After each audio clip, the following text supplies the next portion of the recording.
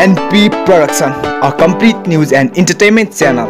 यो भिडियो हेर्नुभन्दा अगाडि सब्सक्राइब गर्न नभुल्नुहोला। आजको प्रसङ्ग रहेको छ तेर्सो विश्वयुद्ध हुँदा पनि सुरक्षित हुन नसक्ने दस देशहरूको विषयमा। सिरिया सरकारले रसायन ग्यासको प्रयोग गरी आक्रमण गरेपछि विश्वभरि नै खैला बैला मचिएको छ। त्यसको प्रत्युत्तरमा अमेरिकाले सिरिया सरकार विरुद्ध आक्रमण गरेको छ। सिरिया सरकारमाथि भएको आक्रमणपछि कतै तेस्रो विश्वयुद्ध हुने त होइन भन्ने आशंका धेरै नै उब्जिएको छ। उत्तर कोरियाप्रति पनि अमेरिकाले देखाएको चासोले पनि यस कुराको प्रमाणित गरेको छ।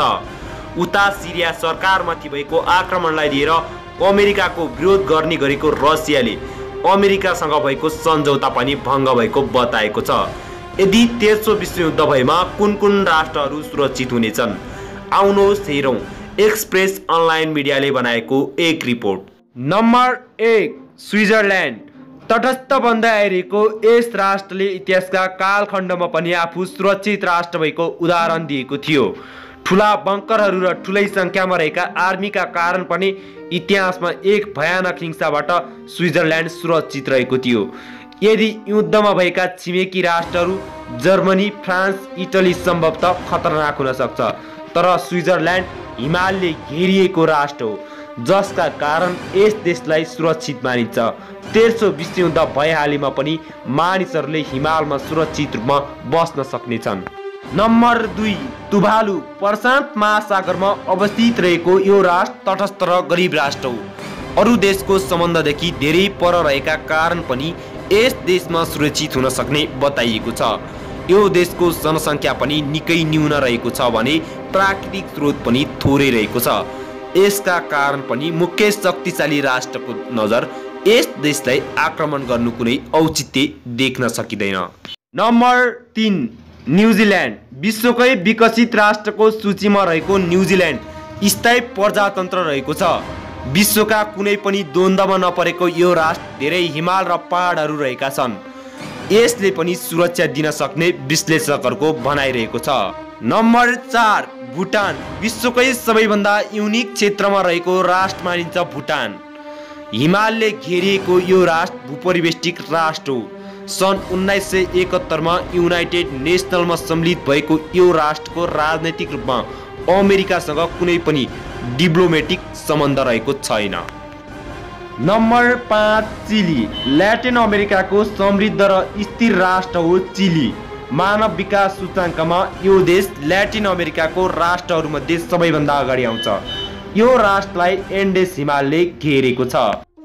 नम्बर छ आइसल्यान्ड। तटस्थ राष्ट्रको रूपमा परिचित आइसल्यान्ड ग्लोबल पिस इन्डेक्स दुई हजार सोह्रको सूचीमा पहिलो स्थानमा रहेको छ। यो देशको पनि जमिनको सीमा रहेको छैन।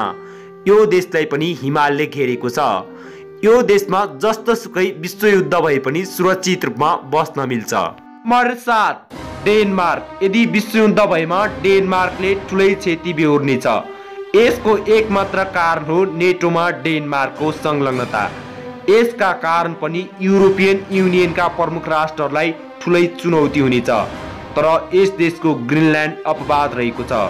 यो निकै विकट क्षेत्रमा रहेको छ भने राजनैतिक रूपमा जोडिएको क्षेत्र भने होइन। नम्बर आठ माल्टा।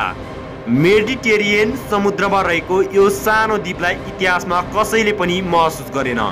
यस देशमा हिस्सा फैलाउने र युद्ध हुने सम्भावना पनि निकै न्यून रहेको छ। यस द्वीपमा आक्रमण गरेर मिसाइललाई खेर फाल्न कसैले पनि रुचाउने छैनन्। नम्बर नौ आयरल्यान्ड।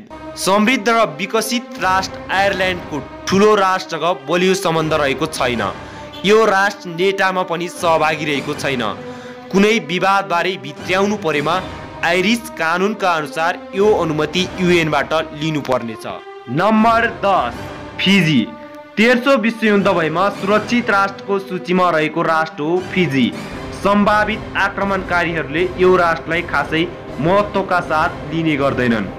वैदेशिक मामिलामा तटस्थ र सानो सङ्ख्यामा रहेको फिजीमा खासै महत्त्वपूर्ण खालका स्रोतहरू पनि रहेका छैनन्। यो सामग्री हामीले एक्सप्रेस अनलाइन मिडियाबाट साभार गरिएका हौँ। तपाईँहरूलाई कस्तो लाग्छ तलको कमेन्ट बक्समा प्रतिक्रिया दिन सक्नुहुनेछ।